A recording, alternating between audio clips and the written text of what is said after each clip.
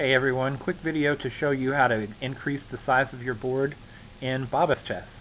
I see a lot of questions on the help channel asking how to increase the size of the board. Now most people, especially if you've never used this program, um, most people's quick answer is to drag the corner of the window to be bigger. So let's try that and see what happens. If you drag the corner of this window, nothing really happens. It can make, get smaller, but it can't get bigger. What about this? There's no real corner here. Uh, right here, no.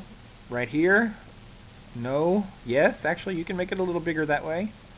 But can you make it as big as possible? Well, I have already done something I did not mean to do. There we go. So let me get back to, that's where it was. And now what I'm going to do is I'm going to start closing things. The board window actually goes from here all the way down to here. This is the end of the board window. Now what you have inside of the board window is a whole lot of things that we don't normally need. This is called the board console right here. We close that right here. Show console, hide console.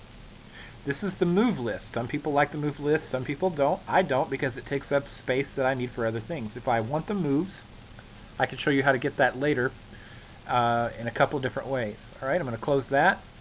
Didn't immediately increase the size of the board, but it did some things. What I recommend to people right away is just close everything except what you absolutely have to have. Here's the board. I don't need an info window, I don't need a channel window, and I don't need a chat window. I do, however, need the console window. So what I'm going to do is I'm going to drag it and then hover right here so that it docks to the right. Let me show you that again. Okay, I'm going to drag it, and then this little thing pops up, and if I hover right here, then I can dock it on the right. Okay, so now I can slide over here and it's docked to the side. It'll always stay over there and the size of the board resizes based on the, the width of the console. All right, one more thing I can do to make my uh, board a little bit different and customized, and You can see the board is just about as big. You can actually get rid of this little toolbar down here as well. Um, I like to keep it just because it's handy. Uh, you can also get rid of the status bar down here. Let's do that. View, status bar, gone. Makes the board a little bit bigger again. Um, what I like to do is I like to put the names and clocks above and below the board, and that way I can make this a little bit wider. But the first, another thing I have to do is to get rid of the captured pieces. So I'm going to turn off captured pieces, which is right here. Turn that off. Just click that button.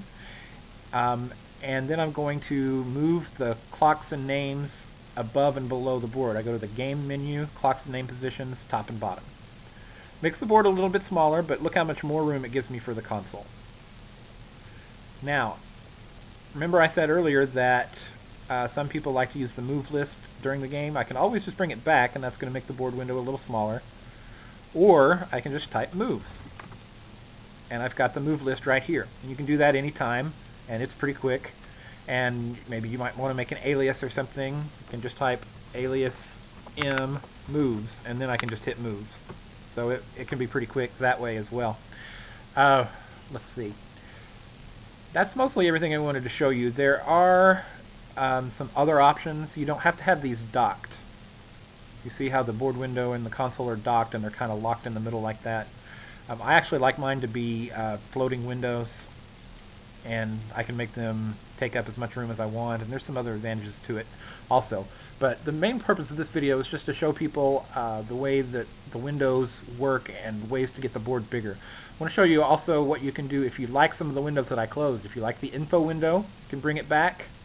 And then if you hover it over where you want it to dock, like I want it to dock under the console or over the console, or I can put it on the right side of the screen or on the left side of that half of the screen. So you can hover it where you want to. You can bring the channel window back, drag the title bar and put it under the window. You can even have the chat window back for talking to individual people. And you're going to run out of vertical room at some point, but you don't need all of it. You know, you don't have to see everything in the console all at once. You can have all four over there, and then you've got your board really huge. So you only need, only use what you need, and you'll be fine. Right?